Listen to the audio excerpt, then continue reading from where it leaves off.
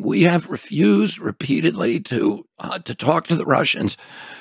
We've broken up. There's two treaties: the Minsk agreements, which the Russians were willing to sign, and they said we will stay out. The Russians didn't want the Ukraine. They showed that when they when the Donbass region voted 90 to 10 to leave and go to Russia, Putin said no. We, want Ukraine to stay intact, but we want you to sign a Minsk Accords to, to you know, they the Russians were were very worried because of the U.S. involvement in the coup in Ukraine in 2014 and then the oppression and the and the you know and the killing of 14,000 ethnic Russians. And Russia has a nat the same the same way that if Mexico put Aegis missile systems from China or Russia on our border and then killed 14,000 uh, expats American, we would go in there.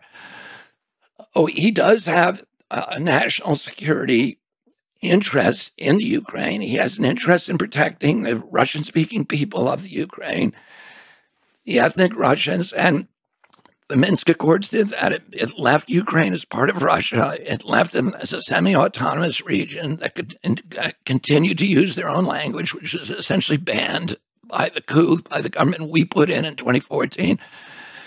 Um, and uh, and we wouldn't we we sabotaged that agreement, and and in we now know in April 2022, Zelensky and uh, Putin had inked a deal already to another peace agreement, and that the United States sent Boris Johnson, the neocons in the White House sent Boris Johnson over to the Ukraine to sabotage that agreement. So, what do I think? I think this is a proxy war. I think this is a, you know, this is a war that the neocons in the White House wanted.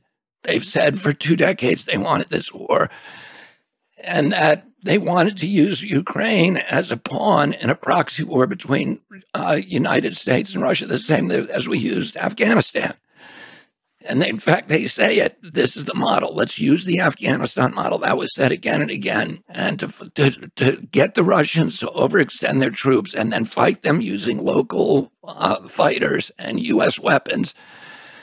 And when President Biden was asked, why are we in the Ukraine, he was honest he says to depose Vladimir Putin, regime change for Vladimir Putin. And when his defense secretary, Lloyd Austin, in April 2022 was asked, you know, why are we there? He said, to degrade the Russians' capacity to fight anywhere, to exhaust the Russian army and degrade its capacity to fight elsewhere in the world.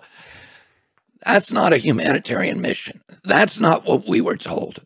We were we were told this was an unprovoked invasion, uh, but and that we're there to bring humanitarian relief to the Ukrainians. But that is the opposite. That is a war of attrition that is designed to chew up, to turn this little nation into an abattoir of death for the flower of Ukrainian youth in order to advance a geopolitical ambition of certain people within the White House.